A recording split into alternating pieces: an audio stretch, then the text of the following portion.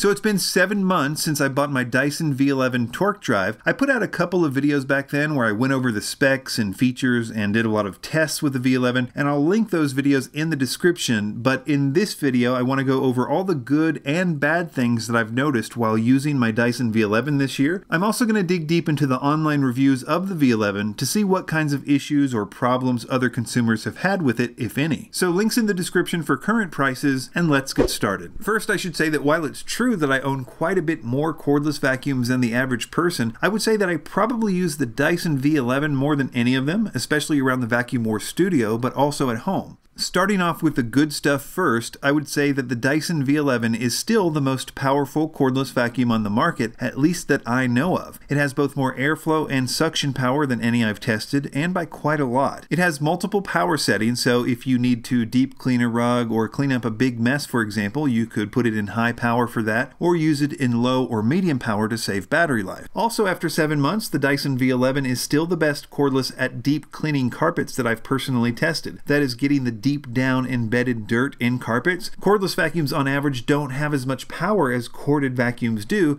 so deep cleaning carpets especially is usually a weakness for cordless vacuums, but not with the Dyson V11. The battery technology on the V11 is really advanced. Not only have I found the battery on the V11 to be the longest lasting on a single charge, but when you take into account the power output in airflow per minute, it's also the most efficient battery on a cordless vacuum that I know of. And when you add that to the automatic adjustment feature, which is unique to the Dyson V11, where a sensor in the cleaner head detects if you're vacuuming hard floors or carpet and then adjusts the power up or down accordingly, it makes that already amazing battery life and battery efficiency even better because it optimizes it for your home situation. This only applies to the more expensive version of the V11, the torque drive version, because it has that screen that gives you a digital readout of the remaining battery life with the current conditions. I've never seen anything like it since it came out, and I have to tell you, I really love how practical and useful it is in real world conditions. In general, it does its main job really well, which is picking stuff up off carpet and hard floors. Even on its low power setting with the adjustable front gates all the way open, this well-designed floor head really has no trouble with any size debris on carpets, though on hard floors it's a little worse with extra large debris,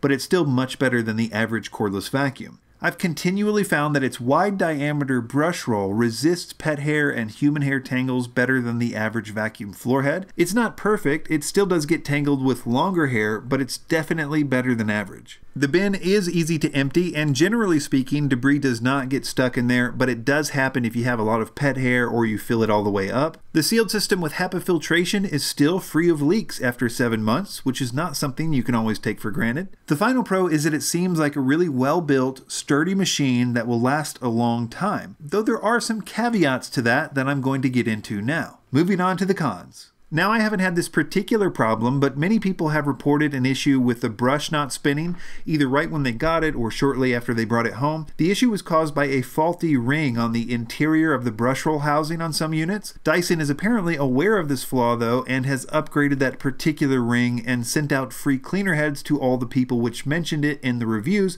so that seems like a good solution. I would also add that the high torque floor head on the V11 looks virtually identical to the previous model on the V10, though the newer one just seems stiffer, like the gates are harder to open and close, and the brush is really hard to remove. It did get better over time though, I've noticed. Related to that, I was a little disappointed when the V11 came out and they weren't offering a V11 package that included a soft roller like they did with the V10. I've always liked the soft roller for hard floor cleaning, though I admit that having to change out the heads when you come to a patch of carpet isn't practical and I never really did it, though I would have liked to have the option with the V11. You can buy the soft roller for the V10 separately, and I have confirmed that it fits the V11 and is the same wattage, so it's interchangeable with the V11 even according to Dyson. Also, you have to pay the price for the bigger as it's a pound heavier than the V10. And while the battery is on the bottom and Dyson may be the best in the business at making the handle well balanced, it's still a little heavier on the arm than people are probably expecting it to be. Though I have to say it's not as noticeable with large jobs as I was thinking it would be when I first got it. In other words, it's heavy, but it still feels better than most regular vacuum cleaners. It's kind of a silly thing, but LED lights have become super common with cordless vacuums, and I really like them and find that they're extremely useful at spotting debris on hard floors,